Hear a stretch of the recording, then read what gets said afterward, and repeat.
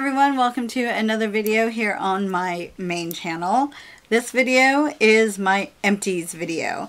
So if you guys have no idea what an empties video is, it's basically I show you my trash. That's pretty much it. Yeah, just things that I have used up over the course of maybe a couple of months or so. And I'm ready to get rid of it. So video time. Let's get started. Now these aren't going to be in any kind of particular order, so we're just going to reach in and keep going. So the first item is this Pixi Concealer. It is uh, the Correction Concentrate and Brightening Peach. As you can see, it's all gone. I love this stuff. I first heard about this from Emily Noel 83 and I love it. It's a tiny, tiny, tiny container, but I tell you what, this thing lasted me probably three to four months and I use it almost every single day because a little bit goes a long, long way with this and I have repurchased this. I'm on my second container of this now, so love, love this stuff. Next thing is my hair conditioner.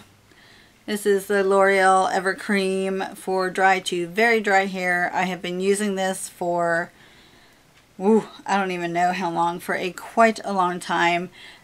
When I first had my hair dyed dark and I went through all of that craziness with Regis, if you haven't seen it, scroll down through my videos. You'll get the whole story on that. I started using sulfate-free shampoos and conditioners and all of that. So this is what I really like. It's the like super conditioning one and I also went through a shampoo as well, but silly, silly me forgot to keep the shampoo. I repurchased this many, many times and love it. Love it. Love it. As many of you know, I have a problem with hand sanitizer. Yeah, it's, it's a problem. So this next item should not be any surprise to you. It's a big old bottle of hand sanitizer. Yep, I'm not too particular on the brand of hand sanitizer just as long as I have a bottle like this at home and like baby bottles in my purse. I have a problem. The next item is also beauty related and it's my hairspray. I actually also heard about this from Emily Noel 83. I do like the hairspray. It does hold my hair pretty well. It smells pretty good. I love that it comes in this ginormous, ginormous can. So it takes me a while to go through it even though I do use hairspray on my hair a good majority of days. Definitely recommend this hairspray if you're looking for Next one. Next thing that is in my empties is my Garcinia Cambogia.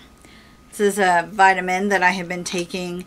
It is supposed to, as you can see, oh god, uh, it's supposed to suppress your appetite and then it's also supposed to inhibit fat production. So when you're burning calories, you're actually burning the fat that you already have stored up. Not sure how effective it is. I know it does suppress the appetite. That I definitely can say. As far as the fat inhibiting the fat production, I'm not quite sure as of yet. The next thing in my empties is my foundation. It's the CoverGirl Outlast Stay Fabulous 3-in-1 foundation in color 805 Ivory.